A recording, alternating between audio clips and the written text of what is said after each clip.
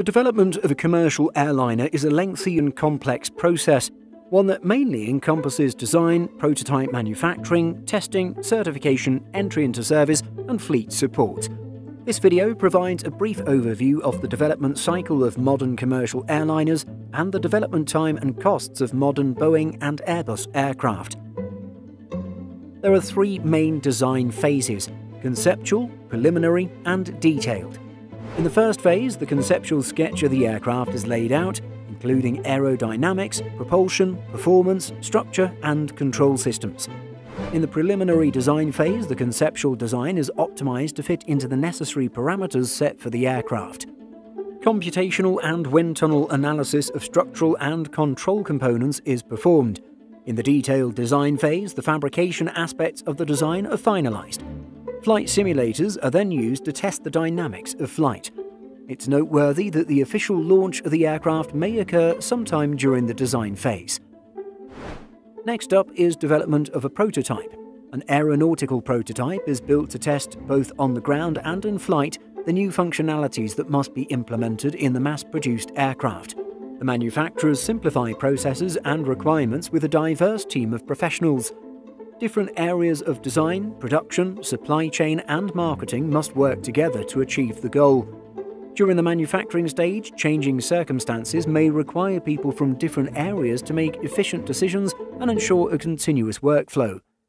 The processes and controls are streamlined to apply to the mass produced aircraft. Once a prototype is built, testing and certification follows. This process is a major challenge in developing a commercial airliner. The manufacturer goes through a lengthy list of ground and in flight tests that must pass certain criteria to be eligible for certification. Not only are the design and functionality of individual components scrutinized, but the processes and methods the manufacturers follow also go through the certification process.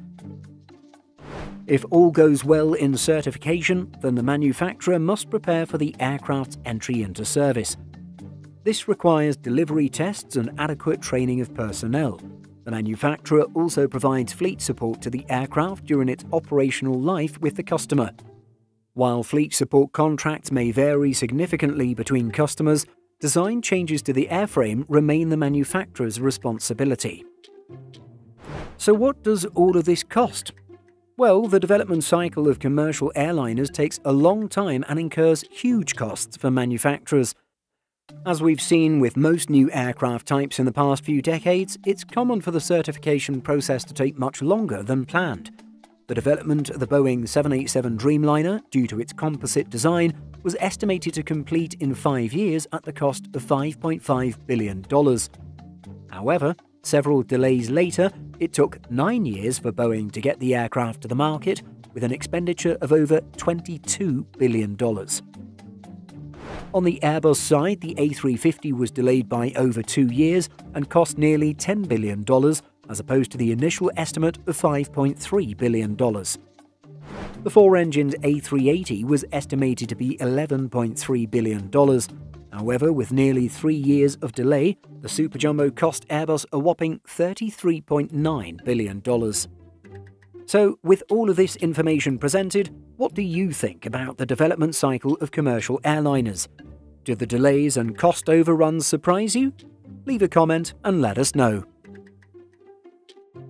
In addition to our daily YouTube videos, Simple Flying publishes over 150 articles every week if you're looking for the latest aviation news and insights, visit simpleflying.com.